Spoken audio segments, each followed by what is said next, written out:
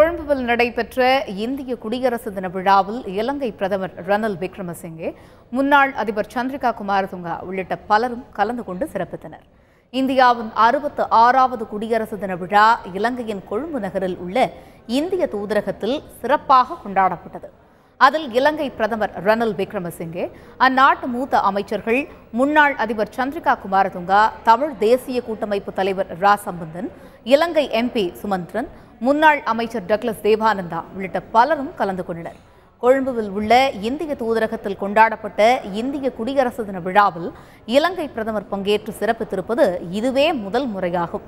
இதன் மூலம் இந்திய இலங்கை நட்புறவு அண்மை காலமாக மேம்பட்டு வருவது உறுதிப்படுத்தப்பட்டுள்ளதாக அரசியல் நோக்கர்கள் தெரிவித்துள்ளனர்.